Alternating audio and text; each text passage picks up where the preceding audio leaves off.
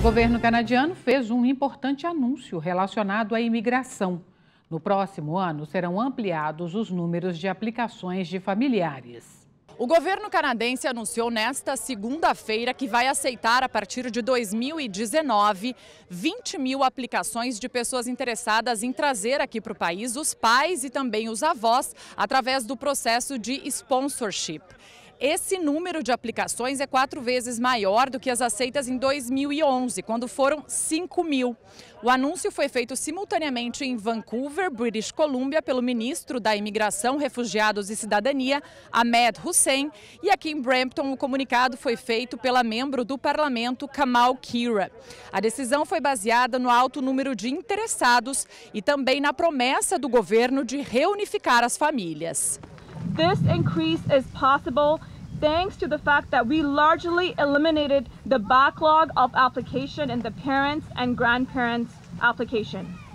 We inherited a huge backlog from the previous government and we reduced the backlog significantly in recent years so that more families can be reunited.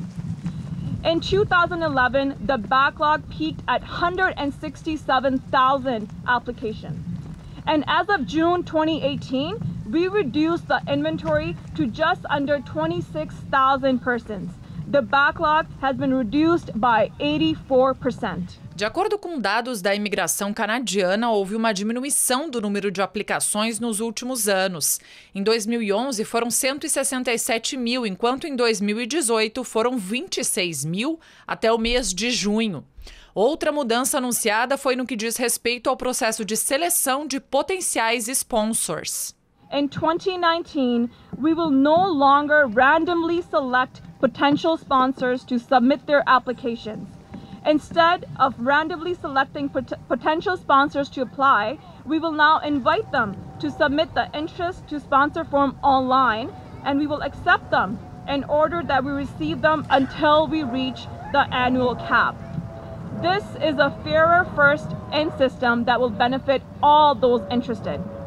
As in previous years, the interest to sponsor form will open, open online at the beginning of the year so that potential sponsors can let us know if they wish to submit an application.